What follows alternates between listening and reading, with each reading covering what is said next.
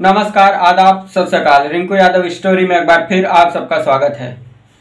दोस्तों, जैसा कि आप सबको पता है, मैं बार बार ये बात बोलता हूँ कि भारतीय जनता पार्टी केवल लाशों पर राजनीति करती है। एक कहावत है, मुँह में राम, बगल में छुड़ी वही हाल भारतीय जनता पार्टी का है। और आज मैं सिद्ध करूँगा इस बात को कि किस प्रकार से भारतीय जनता पार्टी के करनी और कथनी में बहुत बड़ा अंतर है। आप सबको पता होगा, हमारे प्रिय प्रधानमंत्री श्री नरेंद्र मोदी जी का एक बहुत ही लोकप्रिय मुहिम है, बेटी पढ़ाओ, बेटी बचाओ।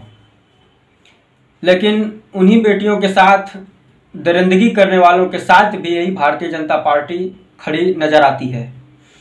जी हाँ हम बात कर रहे हैं बलात्कारी और हत्यारा गुरमीत राम रहीम की। आप सबको पता होगा, वो पिछले दिनों जेल से रिहा हो गया है और इस बार उसको बयालीस दिन की पैरोल मिली है। अब इसके पीछे का असली वजह क्या है, मैं आप सबको बता रहा हूँ।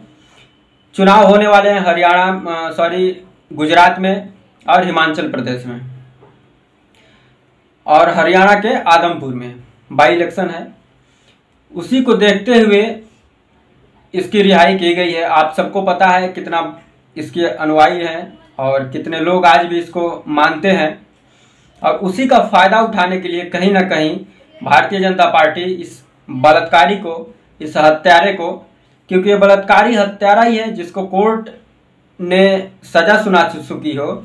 ये गुरमीत राम रहीम को कोर्ट ने 20 साल की सज़ा सुनाई है और दो केस में और 15-15 लाख रुपया का जुर्माना भी लगाया है।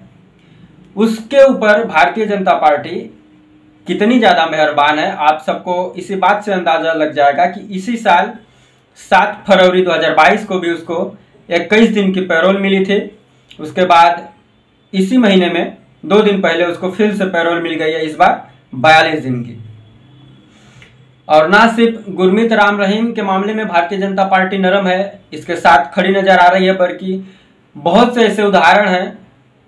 जैसे मैं बता दूँ, कुलदीप सेंगर जो बीजेपी का विधायक है, किस प्रकार से एक बच्ची के साथ बलात्कार का उसके ऊपर आरोप लगता है, उस, उसके बाद उसके पूरे परिवार तहस नहस हो जाता है उस बच्ची का।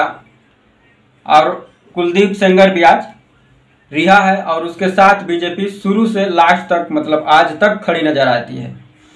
वैसे ही आप सबको पता होगा, भारतीय जनता पार्टी का पूर्व राज्य मंत्री स्वामी चिन्मयानंद आप सब उनका वीडियो भी देखे होंगे, कितना सारा वीडियो वायरल हुआ था, तेल मालिश कराते हुए बच्चियों के साथ। उसके बाद जम्मू कश्मीर के कठुआ में एक आठ साल की बच्ची के साथ बलात्कार होता है और उन दो जो बलात्कारी हैं, उन दरिंदों के साथ भारतीय जनता पार्टी खड़ी नज़र आती है और उनके समर्थन में वहाँ पर रैली निकालती है। और उदाहरण में बता दूँ गुजरात का। इसी 15 अगस्त 2022 को रिहा होते हैं 11 व आरोपी, जो अब तक के सबसे बड़ा जघन अपराध को अंजाम दे चुके थे।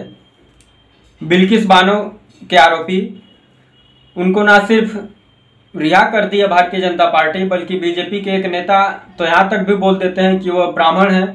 इस वजह से वह कांड नहीं कर सकते ऐसा इसके लिए उनको रिहा किया जाता है।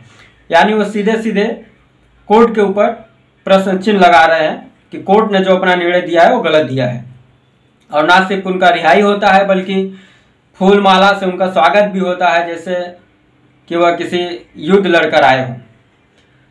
तो दोस्तों, ऐसी बहुत सी उदाहरण है जिसमें आप सबको सामने से नज़र आएगा कि भारतीय जनता पार्टी इन बलात्कारियों के साथ, इन अपराधियों के साथ खड़ी नज़र आती है।